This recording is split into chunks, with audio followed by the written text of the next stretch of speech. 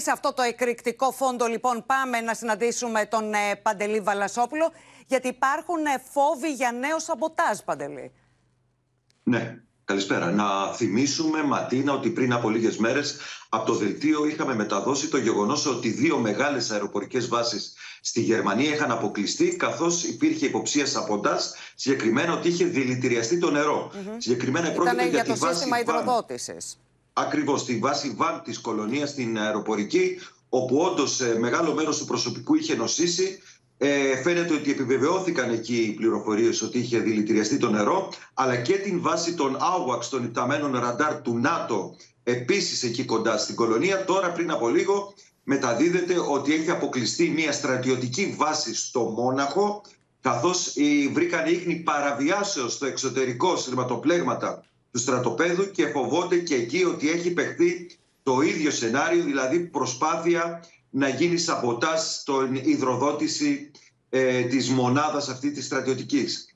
Τώρα, να πούμε ότι σήμερα το Αμερικανικό Κογκρέσο ενέκρινε την πώληση προς τη Γερμανία 600 πυράβλων για συστήματα αντιεροπορικά Patriot ε, καθώς όπως λένε στο Βερολίνο υπάρχει πάντα ο φόβος της ρωσικής απειλής η Ρωσία πολλές φορές έχει απειλήσει ότι μπορεί να χτυπήσει με πυρηνικά το Βερολίνο και μάλιστα σε κρατική τηλεόραση έχει μεταδοθεί ότι μια πυρηνική βόμβα από το θύλακα ε, της Ρωσίας στην Βαλτική μπορεί σε 3,5 λεπτά να χτυπήσει το Βερολίνο. Το Βερολίνο λοιπόν εξοπλίζεται 600 πύραυλοι Patriot ύψους 5 δισεκατομμυρίων ευρώ. Η Γερμανία είχε 12 συστήματα Patriot, τα τρία τα έδωσε στην Ουκρανία και κάλεσε και άλλους όπως και η Ελλάδα να κάνουν το ίδιο. Τώρα έχει εννέα, εξοπλίζεται όμως παραπέρα. Να θυμίσουμε επίσης ότι οι Αμερικανοί και οι Γερμανοί αποφάσισαν οι Αμερικανοί μέχρι το 2026 να φέρουν μεγάλους πυράβλους μεγάλων αποστάσεων στο Βερολίνο,